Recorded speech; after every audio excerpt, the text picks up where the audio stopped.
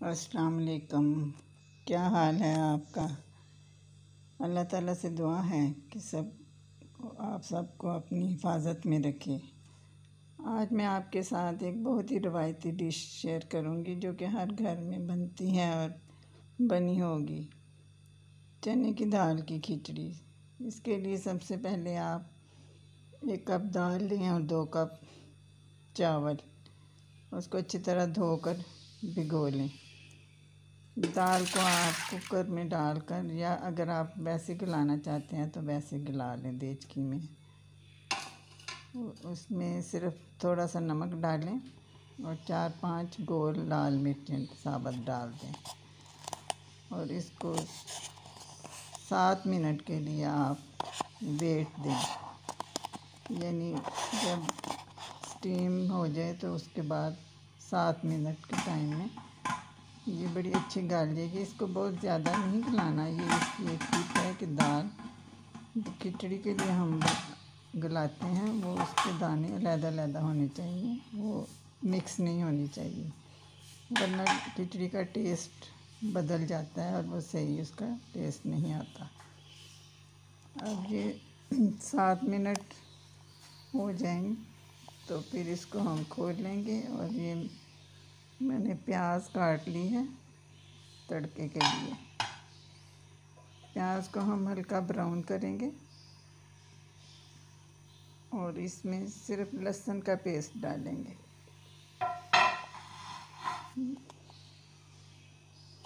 ये देखिए।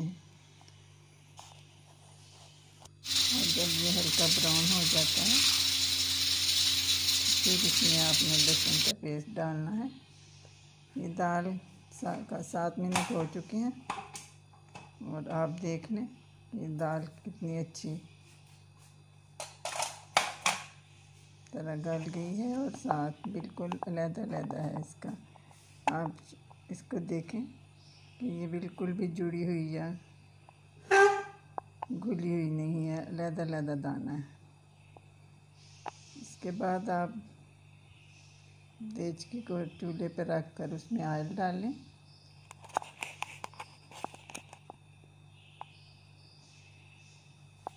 प्याज हल्का ब्राउन होने दें।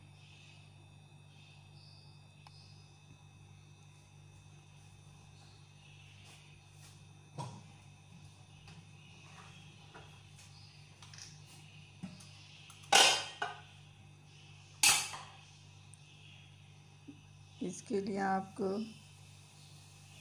ऑयल आप इसमें अपने हिसाब से डालें। और इसके लिए आपको साबुत गरम मसाला और थोड़े दही की भी ज़रूरत होगी।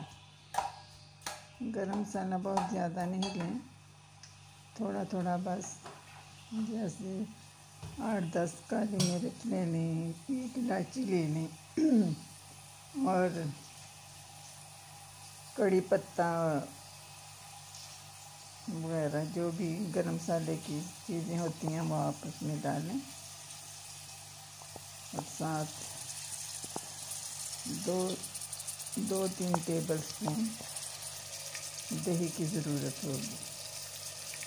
ये हल्का ब्राउन हो जाए तो उसमें लहसुन का पेस्ट डाल दें, साथ ही वो चीज़ें भी डाल दें।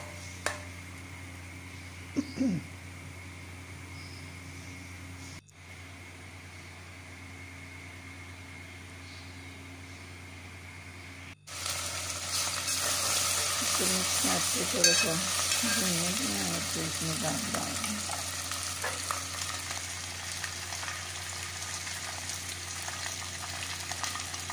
हमारी एक बहुत ही रवायती डिश है जो हर घर में बनती रही है और बनती भी होगी अभी भी लेकिन अब कुछ रुझान कम हो गया लेकिन ये बहुत ही मज़े का लगता है।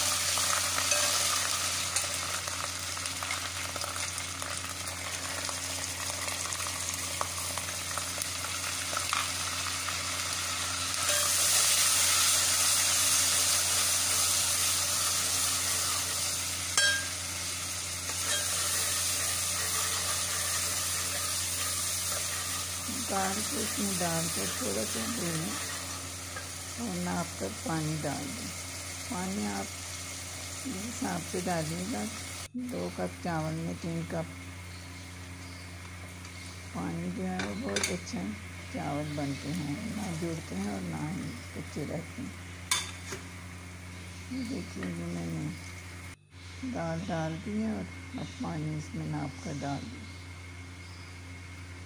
नमक भी अपने हिसाब से डालें। कम ज़्यादा हो तो आप इसका टेस्ट कर सकते हैं।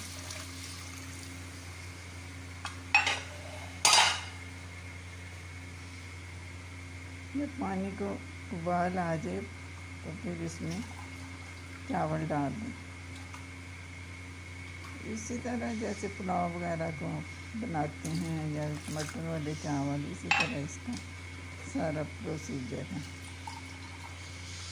लेकिन क्योंकि खिचड़ी का अब रुझान कम हो चुका है, इसलिए मैं फिर से इसको आपको याद ध्यान कराने के लिए मैंने आज बनाई है। ये बहुत मज़े की होती है, इसकी, इसको अगर अचार, चटनी और सलाद के साथ खाया जाए तो ये बहुत ही टेस्ट देती है, मज़ा देती है और इसकी खुशबू जो होती है वो बहुत ही अच्छी होती है।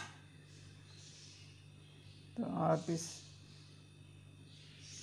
रेसिपी को ज़रूर फॉलो करें और मेरे चैनल को सब्सक्राइब करें, लाइक करें और कमेंट्स में बताइए अगर आपने बनाई हो तो कैसी बनी।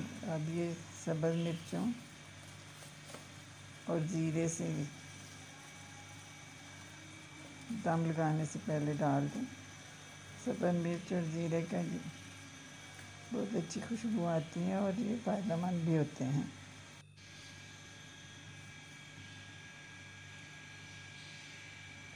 आठ से दस मिनट तक इसको दम लगाएँ और उसके बाद ये तैयार है। कमेंट्स बॉक्स में ज़रूर बताइए, अगर आपने बनाई है तो आपको कैसी लगी?